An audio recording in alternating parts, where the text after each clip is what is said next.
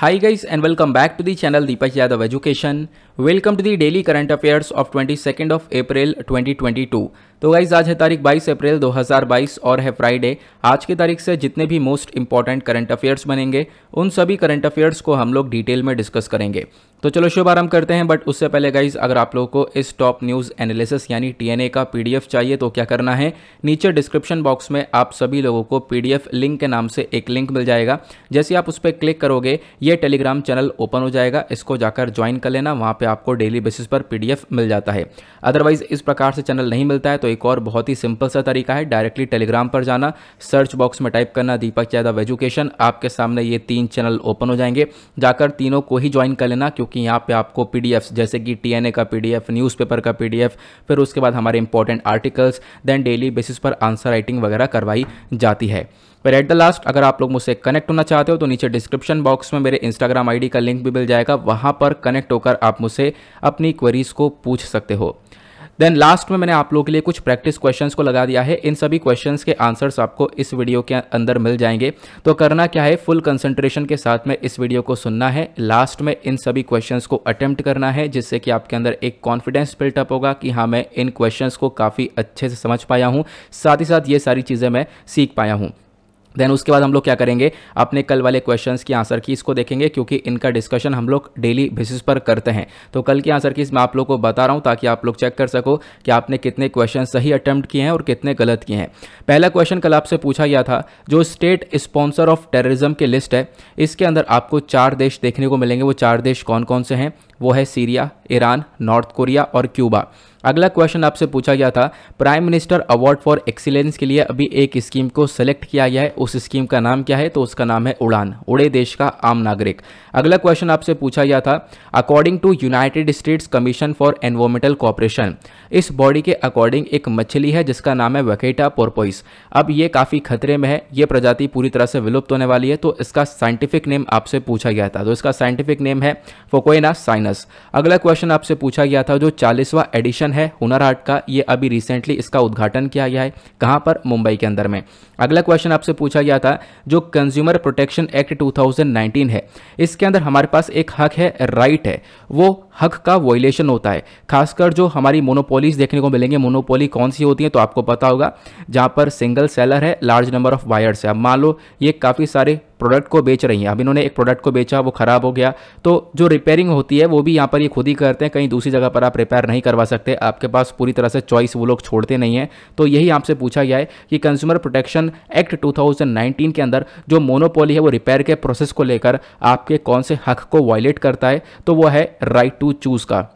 ठीक है? तो ये आपको ध्यान रखना है। बाकी और भी डिटेल जो भी इन्फॉर्मेशन आप लोग जानना चाहते हो, वो सब मैंने कल के वीडियो में प्रोवाइड करवा रखी है। उन्हीं को लेकर कुछ क्वेश्चंस लिए थे, उन्हीं का आंसर मैंने आपको बता दिया। आई होप आप लोगों ने सभी क्वेश्चन को सही से अटैम्प्ट किया होगा। स्टार्ट करेंगे आज के डिस्कशन को। यह है हमारा आज का सबसे पहला आर्टिकल, एक इंपॉर्टेंट आर्टिकल है एग्जामिनेशन के पॉइंट ऑफ़ व्यू से। पहले तो मैं आप लोगों को बता दूँ, इस आर्टिकल को आप लोग GS paper three defence and security के पॉइंट ऑफ़ व्यू से रिलेट कर पाओगे। बात की गई है आईएनएस वक्शीर के बारे में। इस आर्टिकल के बारे में एक छोटी सी इन्फॉर्मेशन मैंने कल के द हिंदू के वीडियो में ऑलरेडी दे दी थी, लेकिन वो इनफ नहीं थी। यहाँ पर मैं आपको बहुत सारी इनफ इन्फॉर्मेशन देने वाला हूँ, जो कि आपको सभी एग्ज़ाम्स में हेल्प करेगा। तो अभी रिसेंटली क्या हुआ? एक पंडुपी है, जिसका ये नाम आपको आईएनएस वक्शीर देखने को मिलेगा। तो ये सबमरीन आपको पिक्चर में दिख रही होगी। इस सबमरीन को अभी मुंबई में पानी में लॉन्च कर दिया गया है। अब एक दो साल ट्रायल चलेगा, लगभग एक साल यहाँ पे ट्रायल चलने वाला है। फिर उसके बाद यहाँ पे हमारी नेवी को ये सौंप दिया जाएगा। तो इसी के बारे में डिस्कशन करेंगे। प्लस मैं आपको काफ़ी सारी एक्स्ट्रा इन्फॉर्मेशन दूँगा कि सबमरीन्स क्या होती हैं, कितने प्रकार की होती हैं क्या क्या वर्किंग होती है। प्लस हमारे पास आज के टाइम पर कौन कौन से क्लास की सबमरीन्स देखने को मिलती हैं कौन कौन से कंट्रीज़ का रोल हमारे पास देखने को मिलता है। इस आर्टिकल को आप देख पाओगे टाइम्स ऑफ़ इंडिया ने कवर किया है, ठीक है? यहाँ पे आप देख पा रहे होंगे, साथ ही साथ इंडियन एक्सप्रेस ने कवर किया है। तो यहाँ पे जो भी इन्फॉर्मेशन मैंने आई एन वक्शीर से उठा रखी है, वो सब यहाँ पर आप देख पाओगे इंडियन एक्सप्रेस से ले ली गई है। इन्होंने यहाँ पर बताया वक्शीर क्या है, इसके फीचर्स इसकी कैपेबिलिटीज़ वगैरह को समझाया है। तो स्टार्ट करते हैं। सबसे पहली चीज़ यहाँ पर, अभी देखो प्रॉपरली इसको लॉन्च कर दिया गया। और लॉन्च किया गया है एक वेमेन के थ्रू जिनका नाम है Veena Ajay Kumar Veena Ajay Kumar union defence secretary की वाइफ है। देखो, ये बहुत पुराने ट्रेडिशन ट्रेडिशन है हमारा कि हम लोग किसी भी अपने सबमरीन्स वगैरह को लॉन्च करते हैं तो वो एक वेमेन के थ्रू किया जाता है। यहाँ पर आप देख पा रहे होंगे, ये आगे वेमेन है जो कि यहाँ पर इस सबमरीन को लॉन्च कर रही हैं। क्लियर हुआ? आगे बात करते हैं। अब बताया गया, देखो, ये जो आई एन एस है, ये हमारे एक प्रोजेक्ट का ही हिस्सा है। उस प्रोजेक्ट का नाम है प्रोजेक्ट 75 अब इस प्रोजेक्ट 75 को हमने साइन किया था लगभग अक्टूबर 2005 में। 3.75 बिलियन डॉलर्स की डील थी, जहाँ पर हम लोगों ने मांग करी थी कि हमारे पास छः सबमरीन्स आएँगी, जिसमें से यहाँ पे आप देख पाओगे छठी सबमरीन यह है आई एन एस वक्शीर क्या बाकी पाँच हमारे पास आ चुकी हैं? हाँ बिल्कुल, बाकी पाँच हमारे पास ऑलरेडी देखने को मिलेंगी।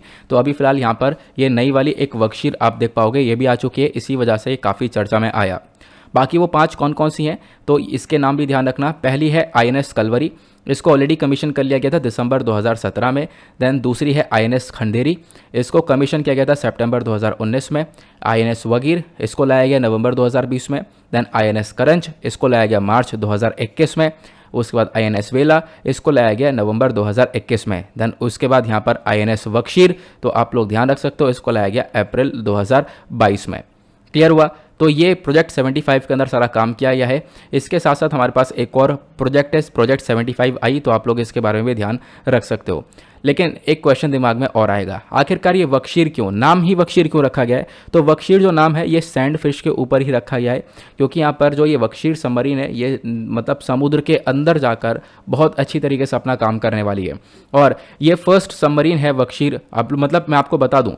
देखो, जो वक्शीर नाम का ये सबमरीन है ये पंडुपी हम लोगों ने पहले भी रशिया से ली थी। तो रशिया के थ्रू यहाँ पर जो पहली पंडुपी दी गई थी ना, फ़र्स्ट सबमरीन वक्शीर नाम की जो थी, वो रशिया से हम लोगों ने ली थी दिसंबर 26 1974 में। लेकिन बाद में इसको मतलब इसका टाइम पूरा हो चुका था तो इसको डिकमीशन कर दिया गया अप्रैल 30 1997 में। तब उसी के बेसिस पर वक्शीर नाम की हमारे पास एक और समरीन आ चुकी है, जो कि अभी नई वाली आप लोग को दिख रही है। अब जो नई बख्शीर है, इसका नाम आपको पता चल चुका है। अब बात करते हैं, इसके फीचर्स क्या क्या हैं? इस पनडुब्बी के फीचर के अंदर सबसे पहला फीचर आता है, ये एक डीजल अटैक सबमरीन देखने को मिलती है। अब ये डीजल सबमरीन और दूसरी न्यूक्लियर सबमरीन के बीच में क्या डिफरेंस होता है, ये भी बता दो।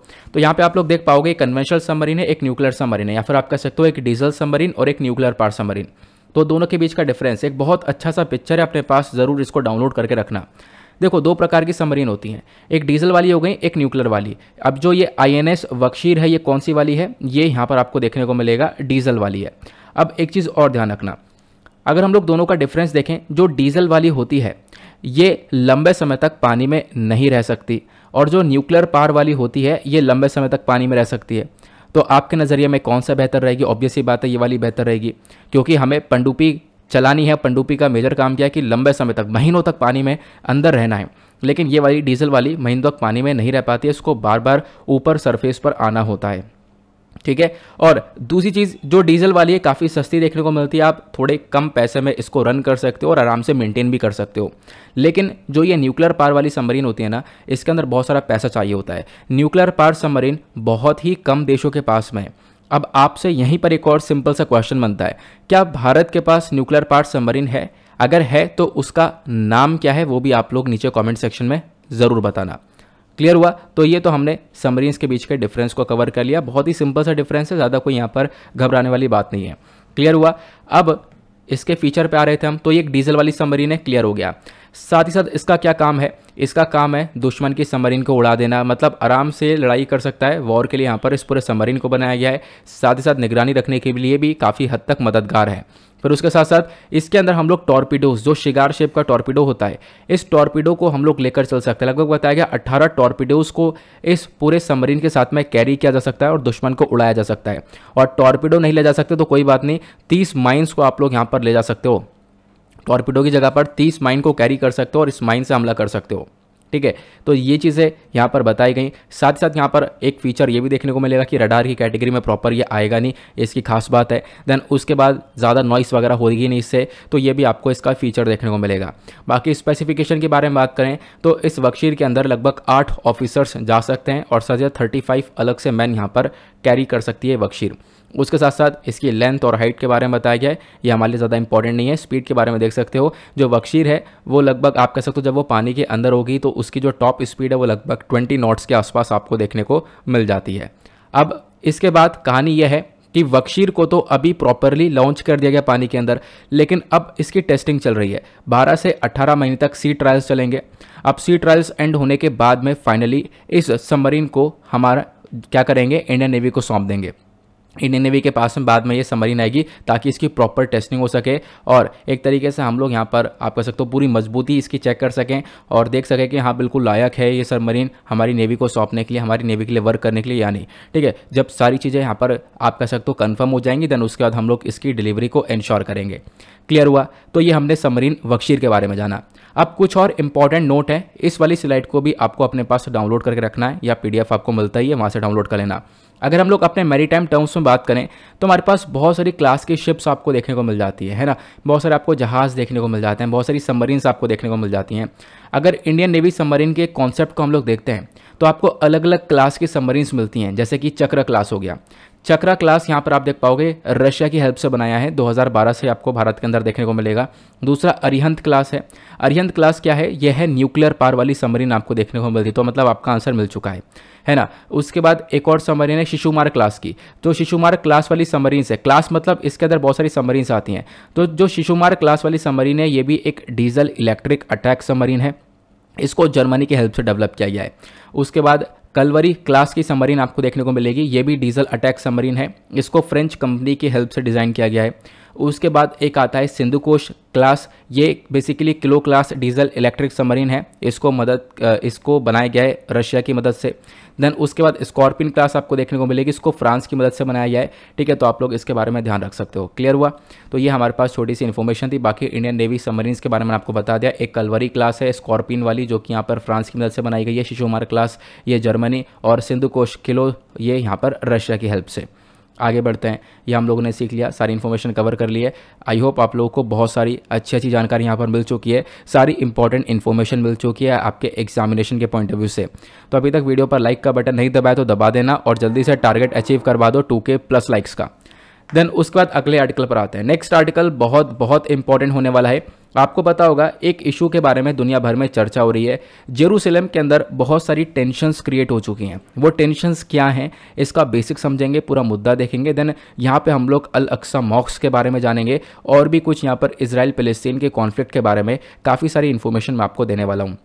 तो इस आर्टिकल को आप लोग G S paper two international relation से रिलेट कर पाओगे। इंडियन एक्सप्रेस का आर्टिकल है अगेन एक्सप्लेन सेक्शन से ये सारा डेटा को उठाया गया। यहाँ पे मेंशन किया गया है कि जो जेरूसलम का अंदर अल अक्सा मॉस्क आपको देखने को मिलता है। इस अल अक्सा मॉस्क के अंदर बहुत सारे क्लैशेस लगातार देखने को मिलते हैं। तो वो क्लैशेस क्यों हो रहे हैं? क्या रीज़न है? वो सारी बातें हम लोग यहाँ पर कवर करने वाले हैं। तो अभी फ़िलहाल ये क्यों चर्चा में आया? क्योंकि अभी रिसेंटली फिर से काफ़ी बड़ा क्लैश देखने को मिला, बहुत ज़्यादा पत्थरबाजियाँ चली है वहाँ पर। इसी वजह से अल अक्सा मॉस्क ये फिर से चर्चा में आया है। ठीक है, यहाँ पे लड़ाइयाँ किस किस के बीच में हुई हैं? तो पेलेस्तीनियंस और इसराइल पुलिस के बीच में ये पत्थरबाजी हुई है। आप देख पाओगे, ये रहा पिक्चर और इसी वाले आर्टिकल को आप विज़िट कर सकते हो। चाहो तो आप लोगों को मैं इस वाले आर्टिकल का जो लिंक है, वो टेलीग्राम पर शेयर कर दूँगा, क्योंकि इंडियन एक्सप्रेस ने एक वीडियो भी शेयर कर रखा है। ट्विटर पर ये काफ़ी सारी वीडियोज़ यहाँ पर ट्रेंड पर थी, जहाँ पर इस प्रकार से सारी वीडियो चल रही है कि पत्थरबाजी करी गई है मॉस्क के अंदर में। क्लियर हुआ। अब पहले मैं आपको कुछ चीज़ें बता देता हूँ।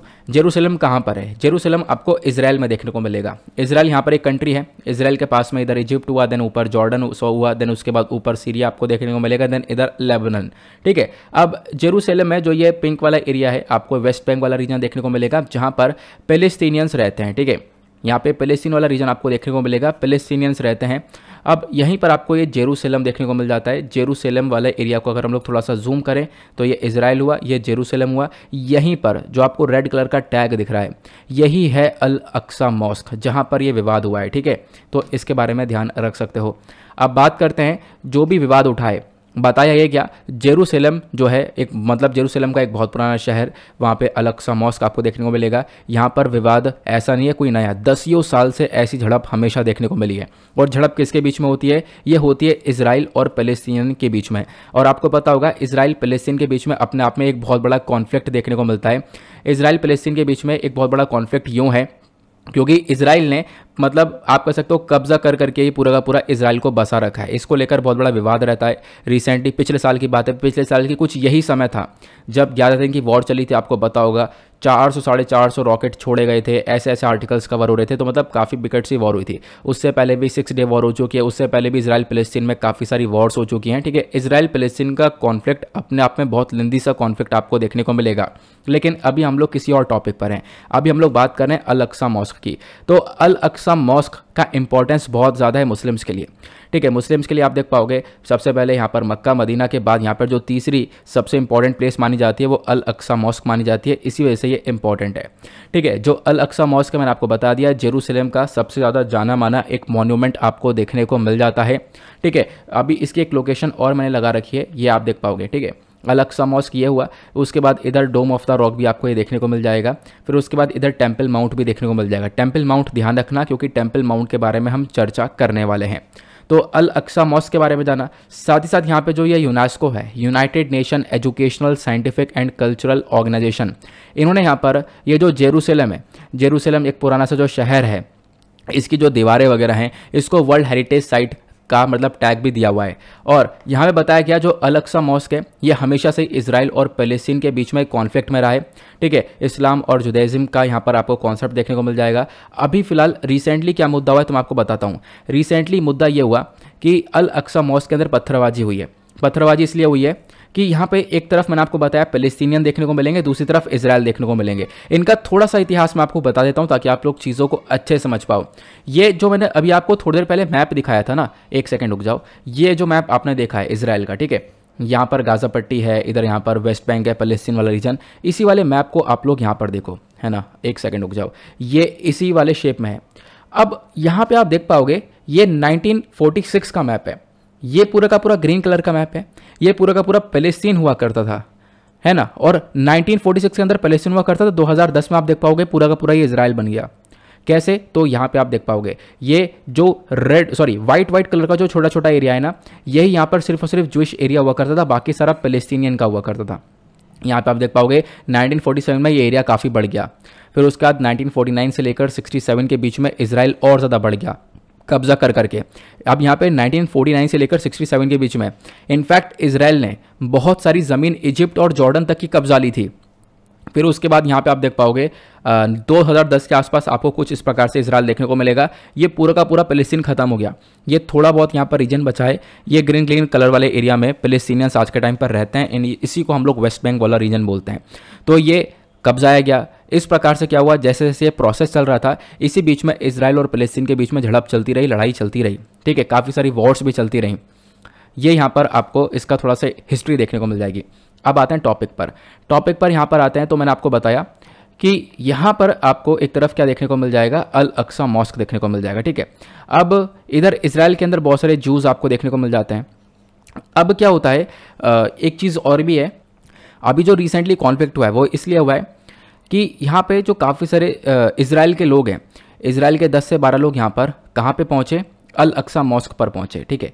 अब अल अक्सा मॉस्क पर देखो जाना अलाउ नहीं है। इसको पहले ही यहाँ पे डिफाइन कर चुका है। पहले यहाँ पर जो अल अक्सा मॉस्क है इस चीज़ को लेकर बातचीत हो चुकी है कि अल अक्सा मॉस्क पर कोई भी जू नहीं जाएगा ठीक है? कोई भी इसराइल के लोग नहीं जाएँगे ठीक है? क्योंकि अल अक्सा मॉस्क अपने आप में यहाँ पर इस्लाम के लिए आ, माना जाता है ठीक है? अगर हम लोग रिलीजियस वाइज बात करें तो इस्लाम के लिए सबसे इंपॉर्टेंट प्लेस है तो यहाँ पर कोई भी इसराइल का व्यक्ति नहीं जाएगा।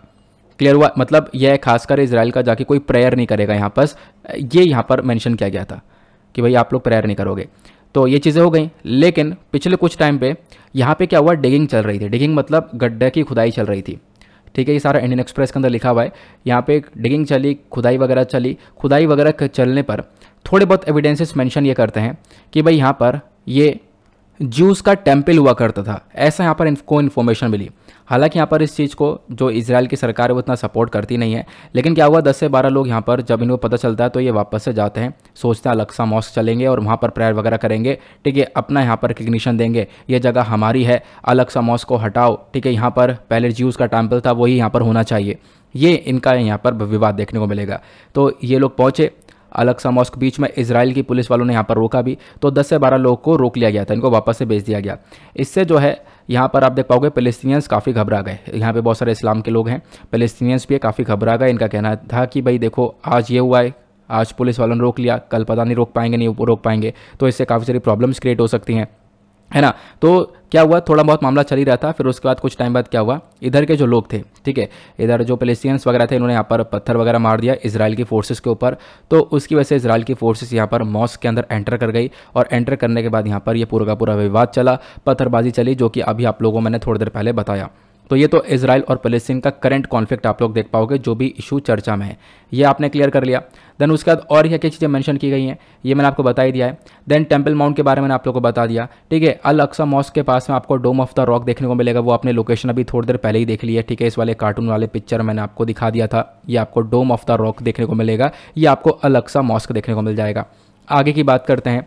और ये भी मैंने आपको बता दिया कि अल अक्सा मॉस्क का कितना ज़्यादा इंपॉर्टेंस है मक्का, मदीना के बाद में। तीसरा इंपॉर्टेंट प्लेस यहाँ पर इस्लाम के अंदर अल अक्सा मॉस्क है। फिर जुदाइज़म की अगर हम लोग बात करें, बोला जाता है कि भाई यहाँ पर यही जगह, वो एक जगह है जहाँ पर गॉड ने कुछ डस्ट को गैदर किया और उसके बाद एडम को क्रिएट किया था। बाइबल के अकॉर्डिंग बताया गया कि लगभग वन थाउज़ेंड के अंदर 1000 बीसी के अंदर जो किंग सोलोमन थे, इन्होंने यहाँ पर पहला टेंपल बनाया था ज्यूस के लिए, इसी वाले माउंटेन पर जहाँ पे अलक्सा मॉस्क आपको देखने को मिलेगा, ठीक है? ये यहाँ पर माना जाता है। जिस टेंपल को आप कह सकते हो डिस्ट्रॉय कर दिया गया था बेबिलियन के थ्रू, लगभग यहाँ पर 400 साल पहले ऐसा मेंशन किया गया है। नहीं नहीं, यहाँ पर ये जो टेंपल इसको डिस्ट्रॉय कर दिया गया था बेबिलियन के थ्रू बेबिलियन के जो किंग थे नेबुचात इनके थ्रू। बाकी यहाँ पे बताया गया जो पहली सेंचुरी है फ़र्स्ट सेंचुरी बीसी के अंदर मेंशन किया गया है। मतलब फ़र्स्ट सेंचुरी बीसी में क्या हुआ? जूज ने वापस से रिटर्न किया और उसके बाद अपना सेकंड टेंपल यहाँ पर क्रिएट कर दिया था। सेकंड टेंपल यहाँ पर बिल्ड कर दिया था। तो ज्यूज और पेलेस्टीन्स के बीच में हमेशा से कॉन्फ्लिक्ट रहा है। अब बात करते हैं एक्जैक्टली आखिरकार इसराइल और पेलेस्टीन यानी ज्यूज और पेलेस्टीन के बीच में क्या कॉन्फ्लिक्ट है, इसको थोड़ा सा समझते हैं। ठीक है? तो इन दोनों के कॉन्फ्लिक्ट के बीच में जेरूसलम यहाँ पर एक बीच की जगह बन जाती है, जिसको लेकर विवाद और ज़्यादा बढ़ जाता है। फिर उसके बाद अलग सा मॉस्क भी यहाँ पर देखने को मिलेगा, जिसको लेकर विवाद और भी ज़्यादा बढ़ जाता है। अब एक ओरिजिनल 1947 का यूएन पार्टीशन प्लान है। इसके अकॉर्डिंग बात करें तो जो जेरूसलम है, ये बेसिकली एक इंटरनेशनल सिटी के तौर पर देखी जाती है। हालाँकि यहाँ पे बोला गया, जो फ़र्स्ट अरब इसराइल वॉर था 1948 का ये देखने को मिला था, जहाँ पर इसराइल ने बहुत सारे एरियाज़ को कैप्चर किया, कब्जाया, जैसे मैंने अभी आप लोग को मैप में दिखा दिया है। इनफैक्ट जॉर्डन का कुछ एरिया कब्जाया, आसपास के देशों के कुछ एरियाज़ को कब्जा लिया था। ठीक है, ये आप देख पाओगे। फिर साथ साथ बताया गया, ये कब्जा कर, करके कर, करके यहाँ पर जैसे जैसे बढ़ रहा था, इसकी वजह से काफ़ी लड़ाइयाँ भी हो रही थी, विवाद भी चल रहे थे, वॉर भी हो रहा था तो इसके बाद यहाँ पर एक वॉर देखने को मिलता है, सिक्स डे वॉर। इसको हम लोग सिक्स डे वॉर के नाम से जानते हैं 1967 के अंदर हुआ था। एक तरफ़ इसराइल था और दूसरी तरफ़ यहाँ पर अरब स्टेट्स थे, जहाँ पर जॉर्डन, सीरिया, इजिप्ट, वक्फ मिनिस्ट्री ऑफ़ जॉर्डन, ये सब लोग एक साथ थे। ठीक है तो ये आप लोग देख पाओगे। उसके बाद क्या होता है, उसमें भी यहाँ पर इसराइल जीत जाता है। इसराइल यहाँ पर फिर ईस्ट जेरूसलम को कब्जा लेता है। जॉर्डन से यहाँ पर ये वाला ईस्ट जेरूसलम वाला हिस्सा ले लेता है, सिक्स डे वॉर के अंदर, और फिर उसके बाद यहाँ पर उसको पूरी तरह से बाद में कब्जा लेता है।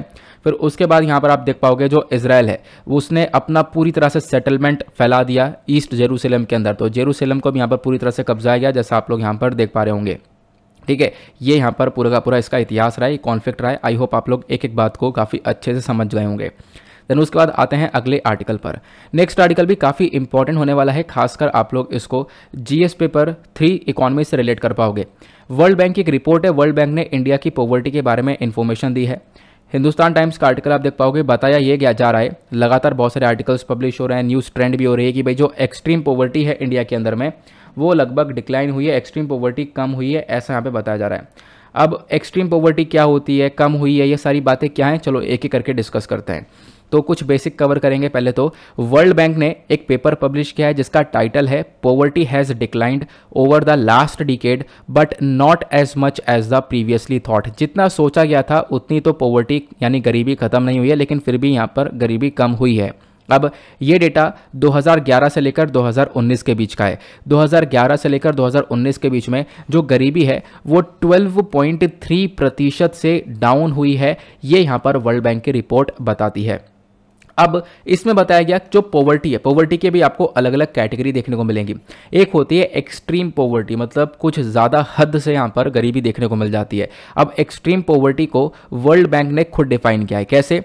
कि मान लो एक व्यक्ति है जो कि 1.90 डॉलर पर डे यानी पर पर्सन इससे कम कमा रहा है तो वह एक्सट्रीम पॉवर्टी की कैटेगरी में इससे ऊपर कमा रहा है तो वो यहाँ पर ठीक ठाक है, उसको यहाँ पर खाना मिल रहा है। ठीक है? तो वह एक्सट्रीम पॉवर्टी की कैटेगरी के अंदर नहीं आएगा। ये यहाँ पर बताया गया।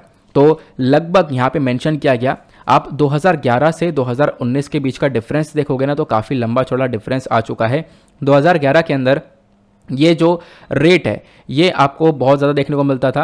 अभी ये डिक्लाइन हो चुका है और लगभग जो गैप है इनका, ठीक है मतलब 2011 में 22.5 परसेंट का 2019 में 10.2 परसेंट तक का रेट देखने को मिला है। अब इस गैप को आप देख सकते हो मतलब जो ये गरीबी है, ये लगभग 12.3 प्रतिशत से या थ्री ट्वेल्व परसेंट से यहाँ पर कम हुई है। ये यहाँ पर इस रिपोर्ट ने बताया। हालाँकि यहाँ पर इन्होंने फिर आगे चीज़ों को और थोड़ा सा क्लासीफाई कर दिया है। इन्होंने रूरल और अर्बन पॉवर्टी को भी डिवाइड कर दिया। मतलब कि गाँव वाले एरिया के अंदर किस प्रकार की गरीबी देखने को मिल रही है, वहाँ पर ज़्यादा है, या फिर शहर वाले एरिया के अंदर गरीबी ज़्यादा है। तो पॉवर्टी का जो रिडक्शन है, यानी गरीबी जो कम हुई है, वो ज़्यादातर आप देख पाओगे रूरल एरियाज़ के अंदर। मतलब कि गाँव वाले एरियाज़ के अंदर ज़्यादा तेज़ी से कम हुई है एज़ कंपेयर टू द शहर वाला एरिया उसके बाद बताया गया जो रूरल पॉवर्टी है, ये लगभग 2011 के अंदर 26.3 परसेंट की हुआ करती थी, जो कि 2019 में गिरकर ये 11.6 परसेंट की पहुँच चुकी है। ये गाँव वाले एरिया का डेटा बताया गया। अब हम लोग अर्बन एरिया की बात करें तो अर्बन एरिया में भी आप देख पाओगे 14.2 परसेंट की हुआ करती थी जो कि कम होकर 16.3 परसेंट की पहुँची है। एग्जैक्टली exactly बात करें, जो रूरल और अर्बन पॉवर्टी है, ये दोनों मिलकर, इनका टोटल डेटा है 14.7 परसेंट का आप लोग यहाँ पर देख पाओगे एंड 7.9 परसेंट के जो पॉइंट्स हैं, ये गेन करे गए हैं लगभग 2011 से 2019 के बीच में आप कह सकते हो कि पॉवर्टी जो है, इतने इतने प्रतिशत से लगातार डिक्लाइन यानी कम होती हुई नज़र आई है। ठीक है?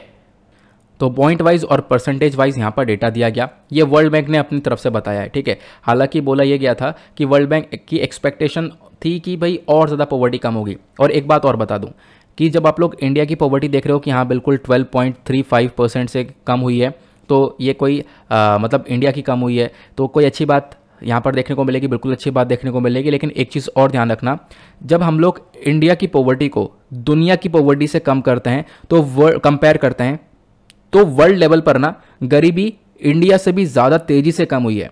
भारत के अंदर थोड़ा सा कम मतलब ग्रोथ रही है लेकिन पूरे दुनिया भर में गरीबी और तेज़ी से कम हुई है। भारत के अंदर कम तो हुई है लेकिन बहुत स्लो रेट से हुई है ये भी आप लोग को ध्यान रखना है ठीक है?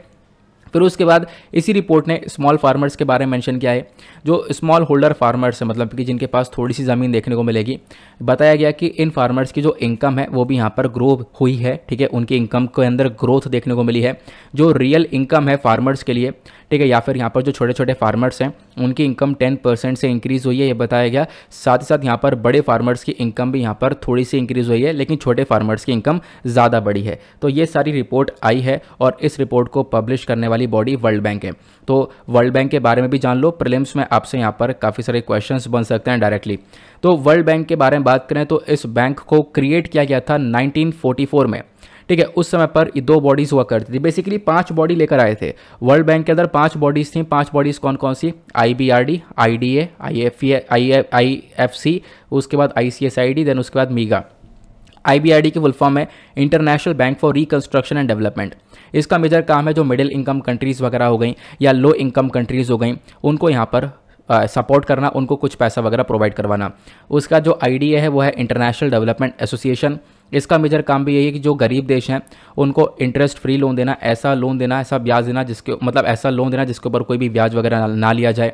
ठीक है, फिर उसके बाद तीसरी बॉडी है इंटरनेशनल फिनेंस कॉरपोरेशन ये भी बेसिकली डेवलपिंग कंट्रीज़ की हेल्प करती है ताकि जो डेवलपिंग कंट्रीज़ हैं उनके अंदर इन्वेस्टमेंट किया जाए और साथ ही साथ यहाँ पर उनकी ग्रेथ को सस्टेनेबल ग्रोथ बनाया जाए। उसके बाद जो तीसरी बॉडी है वो आई आपको देखने को मिल जाएगा। International Centre for the Settlement of Investment Dispute से इसका नाम है, देखने को मिलेगा। ये भी यहाँ पर इंटरेस्ट फ्री लोन प्रोवाइड करवाती है पुअरेस्ट कंट्रीज़ को। देन लास्ट वाली मल्टीलेटरल इन्वेस्टमेंट गारंटी एजेंसी इसका मेजर काम है कि जो यहाँ पर कंट्रीज़ हैं, जो कि सफ़र कर रही हैं, उनके अंदर इन्वेस्टमेंट को इंक्रीज़ करना फॉरेन डायरेक्ट इन्वेस्टमेंट को प्रमोट करना, साथ साथ गरीबी वगैरह को कम करना, लोगों की लिविंग ऑफ़ स्टैंडर्ड को इम्प्रूव करने का ये काम करती है।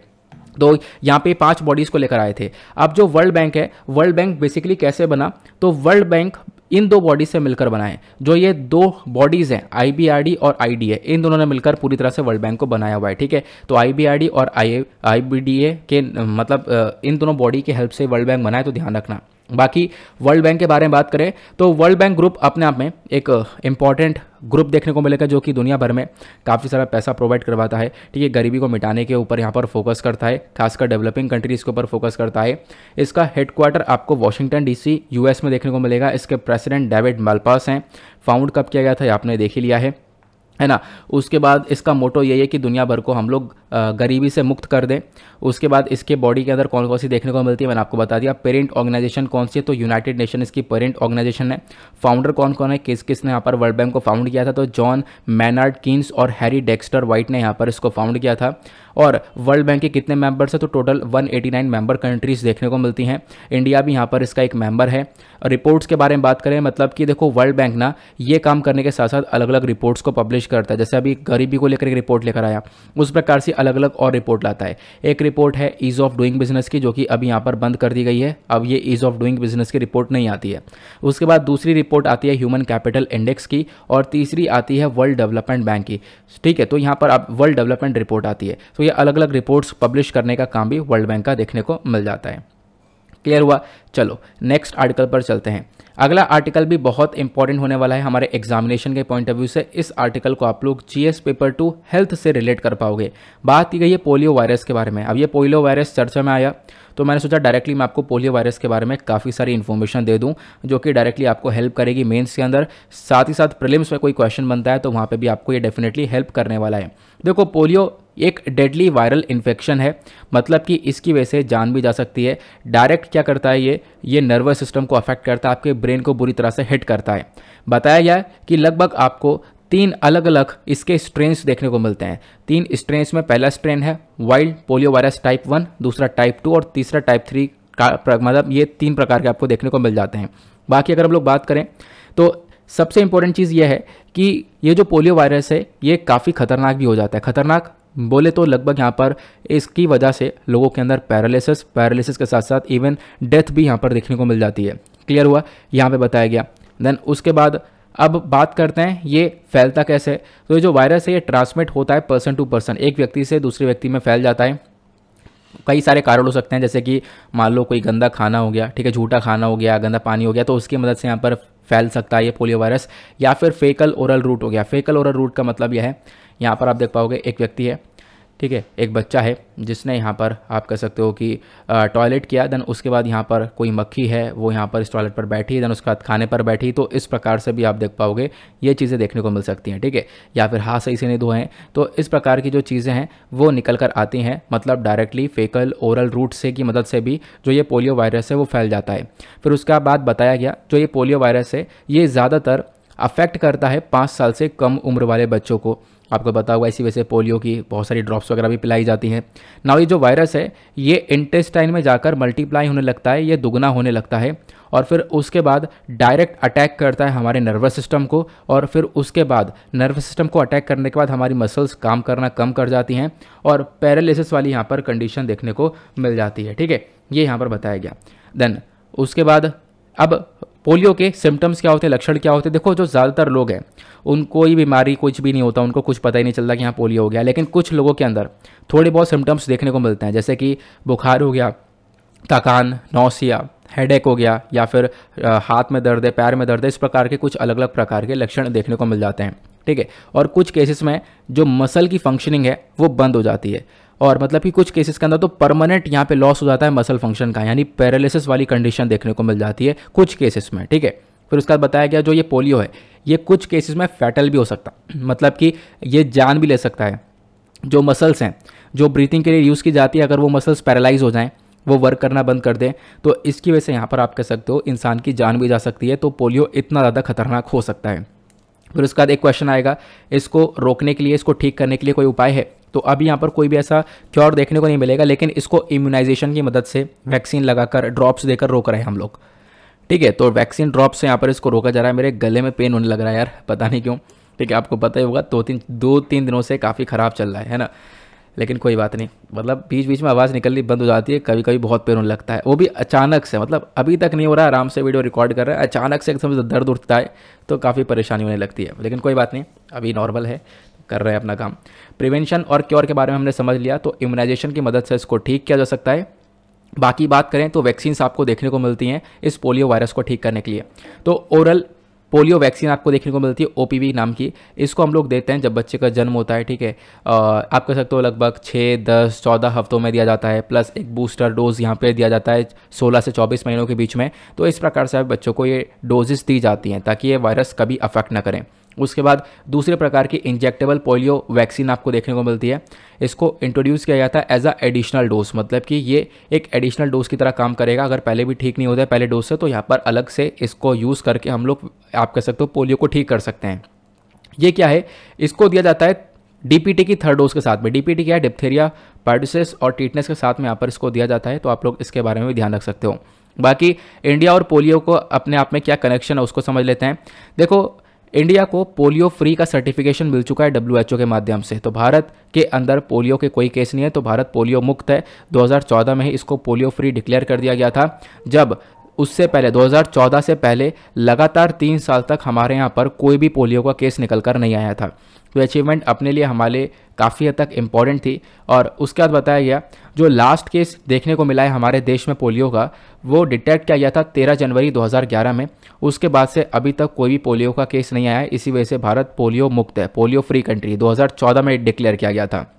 अब क्वेश्चन ये है, पोलियो को रोकने के लिए क्या क्या स्टेप्स उठाए जा रहे हैं? तो पहले हम बात करेंगे दुनिया में क्या क्या स्टेप्स उठाए जा रहे हैं, फिर बात करेंगे इंडिया की। तो दुनिया के अंदर एक सबसे इंपॉर्टेंट स्टेप है ग्लोबल पोलियो इरेडिकेशन इनिशिएटिव इसको लॉन्च किया गया था 1988 में ग्लोबल पोलियो इरेडिकेशन इनिशिएटिव के थ्रू ठीक है? नेशनल गवर्नमेंट के थ्रू और साथ ही साथ जो वर्ल्ड हेल्थ ऑर्गेनाइजेशन है इसके थ्रू आज के टाइम पर बताया गया लगभग 80 प्रतिशत मतलब दुनिया भर की जितनी भी जनसंख्या है, उसकी 80 परसेंट जो जनसंख्या है, वो पोलियो फ्री रीजन में रहती है। वहाँ पे कोई भी पोलियो का केस आपको नहीं देखने को मिलेगा। और फिर उसके बाद बताया गया एस्टिमेटेड 1.5 मिलियन चाइल्डहुड डेथ को यहाँ पर बचाया गया है। साथ ही साथ यहाँ पर कुछ तरीके चलाए जा रहे हैं जहाँ पर वाइटामिन ए को दिया जा रहा है। ठीक है वाइटामिन ए को पोलियो इम्यूनाइजेशन एक्टिविटीज़ के साथ में दिया जा रहा है। फिर उसके बाद यहाँ पे पोलियो डे के बारे में मेंशन किया गया है। तो देखो, हर साल ना, हम लोग 24 अक्टूबर को वर्ल्ड पोलियो डे को ऑब्ज़र्व करते हैं तो आपको ये भी ध्यान रखना है, एक इंपॉर्टेंट डेटा आपको मिल चुका है। तो यहाँ पे ऑब्ज़र्व किया जाता है, ताकि हम लोग यहाँ पर लोगों को बता सकें कि भाई यहाँ पर एक खतरनाक बीमारी है, इसके अगेंस्ट यहाँ पर हम लोग एक प्रोटेक्शन चाहिए। तो वर्ल्ड पोलियो डे को भी मनाया जाता है तो आप लोग ध्यान रखना इसके बारे में। बाकी इरेडिकेशन मेजर्स के बारे में बात करें अब इंडिया की। ये तो हमने बात करी, दुनिया के अंदर क्या क्या चलाया जा रहा है पोलियो को रोकने के लिए। अब बात करें भारत के अंदर क्या क्या हो रहा है तो भारत के अंदर एक पहला प्रोग्राम है पल्स पोलियो प्रोग्राम इसको स्टार्ट किया गया था एक ऑब्जेक्टिव के साथ में, जहाँ पर हमारा मेजर मकसद था कि हम लोग लगभग बहुत सारे लोगों को ओरल पोलियो वैक्सीन दे दें और पोलियो से बचा लें। दूसरा हमारा प्रोग्राम था इंटेंसीफाई मिशन इंद्रधनुष 2.0 इसको यहाँ पर लाया गया पूरे देश भर में और यहाँ पे हमारा फोकस ये था कि हम लोग क्या कर सकें, आप कह सकते हो कि पोलियो को रोक सकें। तीसरा यहाँ पर प्रोग्राम था यूनिवर्सल इम्यूनाइजेशन प्रोग्राम इसको लॉन्च किया गया था 1985 में। इसका भी मेजर मकसद यही था कि हम लोग इम्यूनाइजेशन को, लोगों की इम्यूनिटी को बढ़ाने के लिए जो इम्यूनाइजेशन है, उसको एक्सपेंड कर सकें। तो ये कुछ स्टेप्स यहाँ पर इंडिया के थ्रू उठाए गए थे रिगार्डिंग पोलियो वायरस आगे चलते हैं। अब आते हैं अगले आर्टिकल पर। नेक्स्ट आर्टिकल में भी काफ़ी सारी इंपॉर्टेंट फैक्चुअल इन्फॉर्मेशन है जो कि डायरेक्टली आपको प्रिलिम्स में हेल्प करेगी। बात की गई है कोलंबो सिक्योरिटी कॉन्क्लेव के बारे में तो आर्टिकल पीआईबी के अंदर अभी आपको देखने को मिल जाता है। मुद्दा क्या है? मुद्दा यह है कि जो कोलंबो सिक्योरिटी कॉन्क्लेव है, इसका एक वर्चुअल कॉन्फ्रेंस अभी ऑर्गेनाइज किया गया हमारी इंडिया की नेशनल इन्वेस्टिगेशन एजेंसी के थ्रू अब इसके अंदर जो भी पार्टिसिपेंट्स है, जिन्होंने भी पार्टिसिपेंट मतलब पार्टिसिपेट किया था इसके अंदर उन सबने मिलकर काफ़ी सारे चैलेंजेस को डिस्कस किया, जैसे कि आतंकवाद से कैसे लड़ा जाए, ठीक है? या फिर हम लोग अपने मैरी टाइम यानी समुद्र वाले रास्ते में कैसे यहाँ पे कॉपरेट कर सकते हैं? प्लस इंटरनेट का मिसयूज़ हो रहा है तो उसको कैसे काउंटर करें? सोशल मीडिया का मिसयूज़ हो रहा है, उसको कैसे काउंटर करें? तो ये सारा डिस्कशन हुआ है अभी रिसेंटली कोलम्बो सिक्योरिटी कॉन्क्लेव के अंदर में, ठीक है? जो कि भारत की एन ने लॉन्च किया था।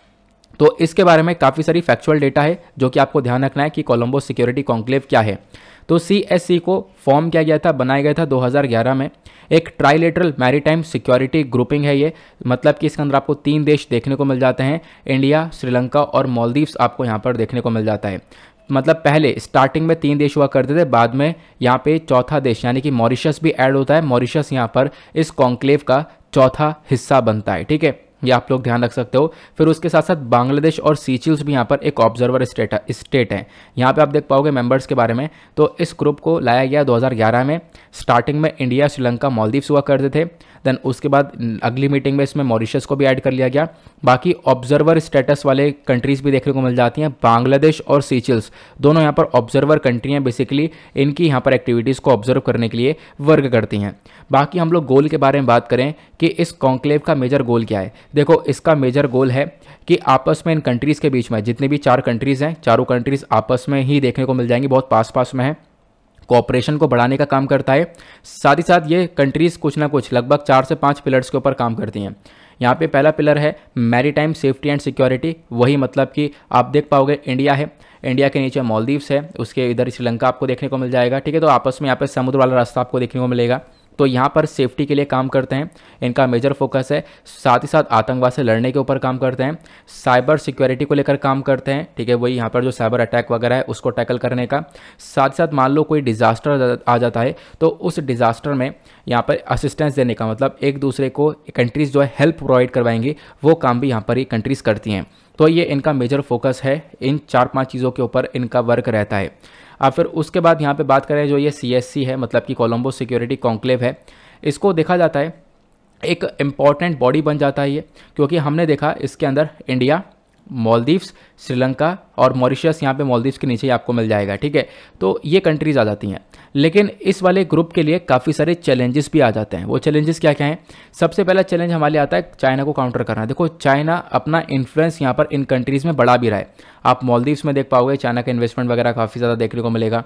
ठीक है, इन कंट्रीज़ के ऊपर अपना छाप छोड़ रहा है, इन कंट्रीज़ के ऊपर कब्जा करने की पूरी तरह से कोशिश कर रहा है। आप श्रीलंका का एग्ज़ाम्पल ले सकते हो। श्रीलंका के अंदर आपने देखा होगा हम्बन पोर्ट को परचेज़ किया इसने निन्यानवे साल के लिए लीज पर दे रखा है और भी बहुत सारे इन्वेस्टमेंट कर रखा है। तो चाइना को काउंटर करना हमारे लिए इंपॉर्टेंट पार्ट है। साथ ही साथ हम लोग यहाँ पर मैरीटाइम सिक्योरिटी के ऊपर फोकस करते हैं क्योंकि भारत की जो कोस्ट लाइन है वो आपको 7,500 किलोमीटर की कोस्ट लाइन देखने को मिल जाती है।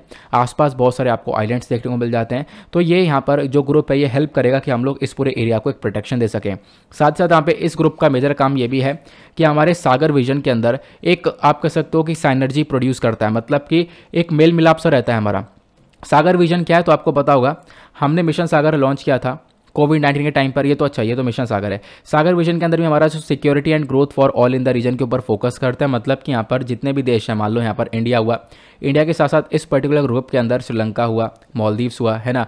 उसके बाद यहाँ पे आप देख पाओगे मॉरिशस हुआ तो इन सब की ग्रोथ के ऊपर भी हम लोग काम करते हैं। बाकी इन कंट्रीज़ के साथ में ना हमारे रिलेशन बहुत अच्छे हैं। आप लोग पीछे वर्ल्ड मैप थोड़ा सा ड्रॉ हुआ हुआ देख पा रहे होंगे। इधर इंडिया है इधर मॉलदीव्स हो गया, इधर मॉरिशस दैन इधर कोमरो, सीचिल्स, मडागास्कर। ये कंट्रीज़ हमारे लिए बहुत इंपॉर्टेंट है। हमारे रिलेशन इनसे काफ़ी अच्छे हैं। इनफैक्ट कोविड नाइन्टीन के टाइम पर रिलेशन काफ़ी बढ़ गए। क्योंकि कोविड नाइन्टीन के टाइम पर हमने इन कंट्रीज़ की बहुत मदद करी है। जैसे मॉलदीव्स को 600 टन फ़ूड आइटम्स दिया था हमने। मॉरिशस को हम लोगों ने बहुत सारी एसेंशियल मेडिसिन दी हैं और खाने पीने का सामान दिया, आयुर्वेदिक मेडिसिन दिए। मडागास्कर को हम लोगों ने कोविड नाइन्टीन से संबंधित एसेंशियल मेडिसिन को दिया। हाइड्रोक्सो क्लोरोक्विन टैबलेट्स यहाँ पे प्रोवाइड करवाई हैं इनको। ठीक है? कोमोरोस को हम लोगों ने यहाँ पे काफ़ी सारी टैबलेट्स प्रोवाइड करवाई है। सीचिल्स को हम लोगों ने एसेंशियल मेडिसिन दिया था। तो कोविड नाइन्टीन के टाइम पर भी हम लोगों ने इन कंट्रीज़ की पूरी तरह से मदद करी है। मिशन सागर के अंडर में तो आप लोग ध्यान रख सकते हो इसके बारे में। ठीक है? अब जो भी हाइड्रोक्सो क्लोरोक्विन टैबलेट के बारे में पढ़ता हूँ ना मैं तो मुझे हमेशा एक मीम याद आ जाता है। उसके मतलब कोविड नाइन्टीन के टाइम पर इस मेडिसिन के बारे में काफ़ी चर्चा हुई थी कि हाइड्रोक्सो क्लोरोक्विन ये ठीक कर देगा। बहुत सारी कंट्रीज़ यहाँ पे भारत से ऑर्डर कर रहे थे। तो एक मीम बहुत वायरल हो रहा था, मेरे दिमाग में हमेशा वो घूम जाता है जब भी मैं इसको पढ़ता हूँ तो। वो ये था कि पाकिस्तान जो है, पाकिस्तान कैसे मंगाएगा? ठीक है, पाकिस्तान पता नहीं बोल भी पाएगा, नहीं बोल पाएगा स्पेलिंग ले पाएगा, नहीं ले पाएगा स्पेलिंग लिख पाएगा, नहीं ले पाएगा तो कैसे मंगाएगा? इस प्रकार का यहाँ पर मीम बहुत वायरल हो रहा था। चलो एनीवे नेक्स्ट आर्टिकल पर आते हैं। अगले आर्टिकल में चर्चा की गई है नेट पोल रेक्स एट के बारे में। ये एक अभ्यास यहाँ पे है, जिसके बारे में चर्चा की गई है। पीआईबी का आर्टिकल है। डिफेंस सेक्रेटरी ने उद्घाटन कर दिया है today national level pollution response exercise का। अब जो हमारी इंडियन कोस्ट गार्ड है, ठीक है इंडियन कोस्ट गार्ड ने इस national level pollution response exercise जिसको नाम दिया गया है नेट पोलरेक्स एट ये आठवां एडिशन है। जिसको कंडक्ट किया है। तो पहली इंपॉर्टेंट चीज़, ये आठवां एडिशन है। दूसरी इंपॉर्टेंट चीज़ इंडियन कोस्ट गार्ड ने इसको कंडक्ट किया है। अब इसमें क्या होगा? ये एक अभ्यास है, जहाँ पर आपको 45 इंटरनेशनल पार्टिसिपेंट्स देखने को मिलेंगे 18 कंट्रीज़ के यहाँ पर अलग अलग मेंबर्स देखने को मिलेंगे। ठीक है? अब क्या है? इनका मेजर काम है कि देखो, समुद्र के अंदर बहुत सारा पोल्यूशन वगैरह हो रहा है। ऑयल फैल जाता है तो उसको हम लोग कैसे टैकल कर सकते हैं? ठीक है? उससे हम लोग कैसे लड़ सकते हैं? ऑयल स्पिल का केस आपने पढ़ा होगा, है ना? ऑयल स्पिलिंग के बहुत सारे केस निकल कर आते हैं तो उसको कैसे टैकल किया जा सकता है? वो सारी इन्फॉर्मेशन यहाँ पर कवर की जाती है। मैं आपको बताता हूँ इसकी डिटेल्स के बारे में। ये जो एक्सरसाइज है, ये जो अभ्यास की उद्घाटन किया गया है, इस अभ्यास के अंदर आप देख पाओगे दो दिन का प्रोग्राम चलेगा। यहाँ पर हम लोग फोकस करेंगे कि किस प्रकार से, मान लो कोई ऑयल फैल गया ऑयल स्पिल हो गया तो उसके प्रति कैसा रिस्पॉन्स होना चाहिए?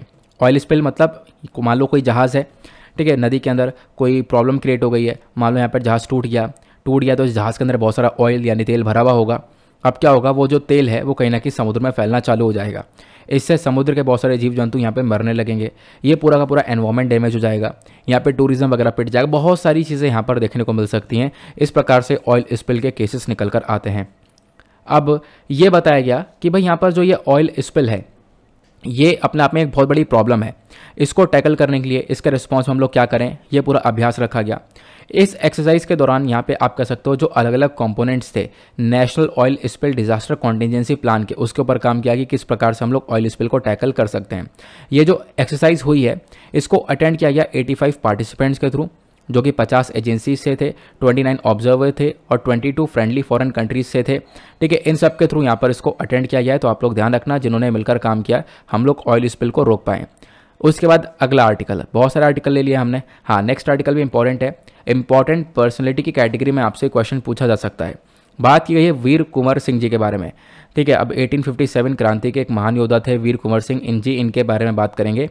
एक, अभी यहाँ पे चर्चा में इसलिए हैं क्योंकि इनकी बर्थ एनिवर्सरी को ऑर्गेनाइज किया गया है और 1857 के क्रांति के एक हीरो माने जाते हैं वीर कुंवर सिंह जी। अब इनकी बर्थ एनिवर्सरी कब मनाई जाएगी? तेईस अप्रैल को। तो तेईस अप्रैल यहाँ पर आप देख पाओगे, अभी हमारी कल तेईस अप्रैल देखने को मिलेगा तो तेईस अप्रैल को बर्थ एनिवर्सरी यहाँ पर ऑर्गेनाइज की जाएगी इनको कहाँ इनकी कहाँ पर?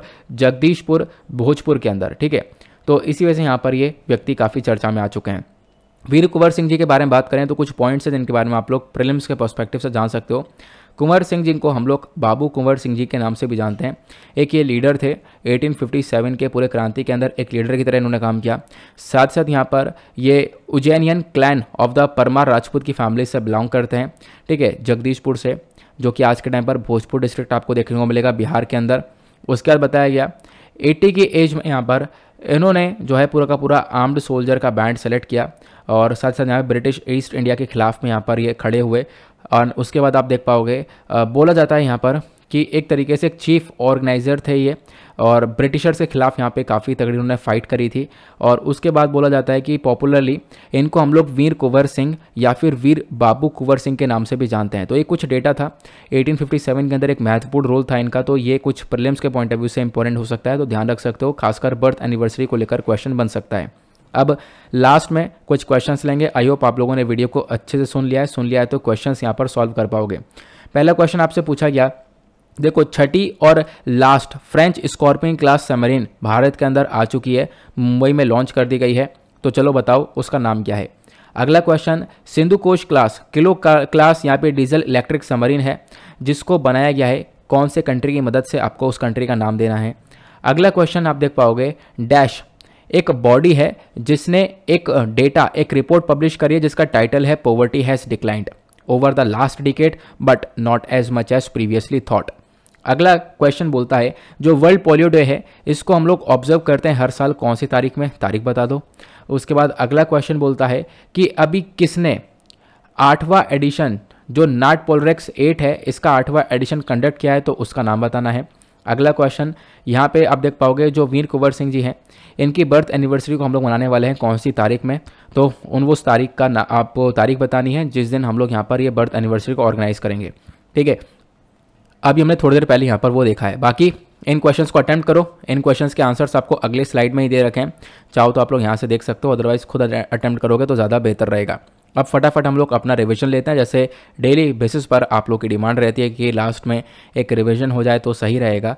चीज़ें काफ़ी लंबी हो जाती हैं, काफ़ी कुछ डिस्कस किया जाता है तो हम लोग थोड़ा सा लंबे समय तक याद रख पाएँगे। ओके तो पहला क्वेश्चन या फिर पहला आर्टिकल हमने डिस्कस किया था आईएनएस वक्शीर के बारे में।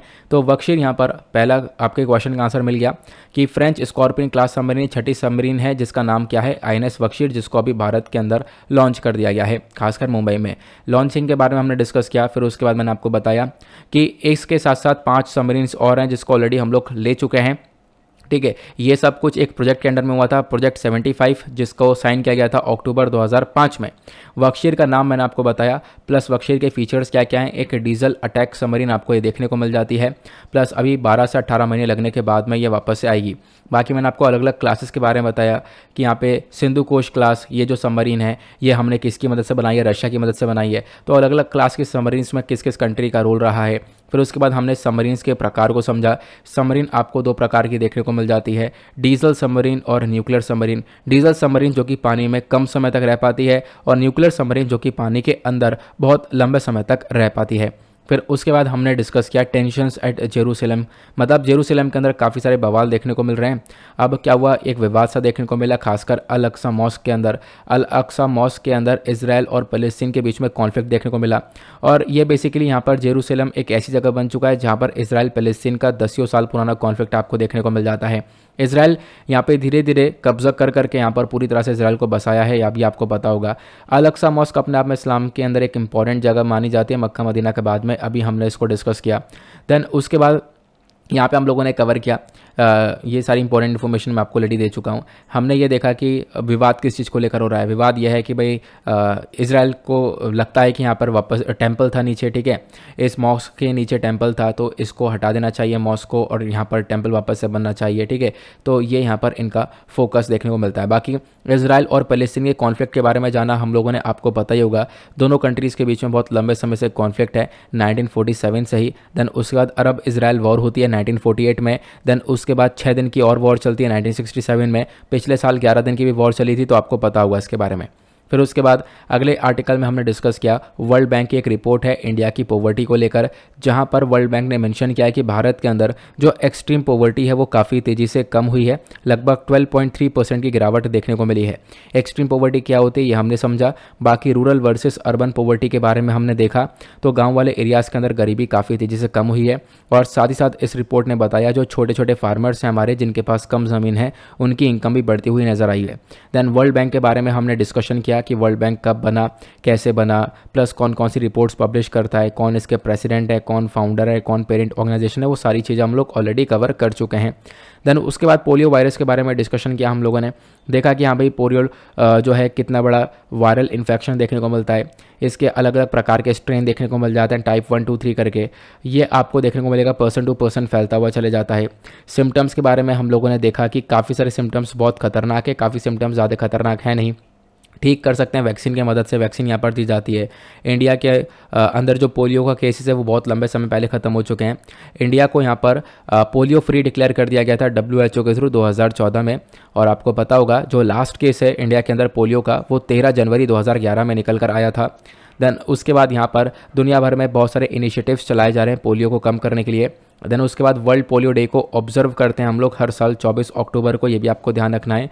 देन भारत के अंदर काफ़ी सारे प्रोग्राम चलाए जाते हैं, जैसे Pulse Polio programme intensified mission Indradhanush universal immunisation programme जो कि पोलियो को रोकने के ऊपर फोकस करते हैं। देन उसके बाद कोलंबो सिक्योरिटी कॉन्क्लेव के बारे में हमने डिस्कशन किया था। ये अभी एक वर्चुअल कॉन्फ्रेंस देखने को मिली है, जिसको ऑर्गेनाइज किया है भारत के नेशनल इन्वेस्टिगेशन एजेंसी ने। फिर यहाँ पर मेंशन किया गया कि आप देख पाओगे, इन्होंने फोकस किया है कि हम लोग आतंकवाद से कैसे लड़ेंगे, इंटरनेट और सोशल मीडिया के गलत यूज़ से कैसे लड़ेंगे। इस बॉडी के बारे में आपको बताया, इस बॉडी को बनाया गया था 2011 में। फिर उसके बाद 2011 में पहले सिर्फ़ और सिर्फ़ तीन कंट्रीज़ इसके अंदर हुआ करती थी इंडिया श्रीलंका और मालदीव्स बाद में नेक्स्ट मीटिंग में मॉरिशस भी इसके अंदर आ जाता है और बांग्लादेश और सीचल्स को यहाँ पर एज ऑब्जर्वर कंट्री रखा गया है। इनका मेजर फोकस वही है, आतंकवाद को टैकल करना साइबर सिक्योरिटी का ऊपर प्रमोट करना, वो यहाँ पर मेजर काम देखने को मिलता है। बाकी मैंने आपको बता ही दिया है कि इनका मेजर फोकस है चाइना को टैकल करना, साथ ही साथ मैरीटाइम सिक्योरिटी के अंदर बढ़ावा देना, और भारत यहाँ पर इन कंट्रीज़ की बहुत पहले से मदद कर रहा है। इनफैक्ट यहाँ पर कोविड नाइन्टीन के टाइम पर भी हम लोगों ने काफ़ी सारी हेल्प इन कंट्रीज़ को दी थी। वो हेल्प क्या क्या थी, अभी मैंने आपको ऑलरेडी बता दिया है। फिर उसके बाद अगले आर्टिकल में हमने डिस्कस किया नेट पोलरेक्स एट के बारे में। तो अभी क्या हुआ इंडियन कोस्ट गार्ड ने आठवां एडिशन इस अभ्यास का कंडक्ट किया है, जिसका नाम है national level pollution response exercise अब इस एक्सरसाइज के अंदर बहुत सारे लोगों ने पार्टिसिपेट किया है, बहुत सारे पार्टिसिपेंट्स देखने को मिले हैं, और इनका मेजर फोकस है कि हम लोग जो ऑयल स्पिल होता है, यानी तेल वगैरह फैल जाता है, उस ऑयल स्पिल को हम लोग कैसे रोक सकते हैं, उसके प्रति हमारा क्या रिस्पॉन्स रहना चाहिए, वो हम लोगों ने कवर किया है। उसके बाद यहाँ पे हम लोगों ने डिस्कस किया अगले आर्टिकल में वीर कुंवर सिंह जी के बारे में। तो 1857 की क्रांति में यहाँ पे एक बहुत इंपॉर्टेंट रोल रहा है इनका। अब ये चर्चा में इसलिए है क्योंकि यहाँ पर 23 अप्रैल को इनकी बर्थ एनिवर्सरी ऑर्गेनाइज की जाएगी जगदीशपुर, भोजपुर के अंदर। ठीक है, ये यहाँ पर आपको ध्यान रखना है, जहाँ से बिलोंग करते थे। और उसके बाद मैंने आपको बताया, इनको वीर कुंवर सिंह और वीर बाबू कुंवर सिंह के नाम से भी जाना जाता है। फिर कुछ क्वेश्चन लिए और क्वेश्चन के बाद हम लोगों ने इन आंसर्स को भी कवर कर लिया है। नाउ, इसी के साथ करते हैं हम लोग अपने लेक्चर को समाप्त और मिलते हैं आप लोगों से नेक्स्ट वीडियो में। आज के लिए bye bye have a nice day thank you and जय हिंद।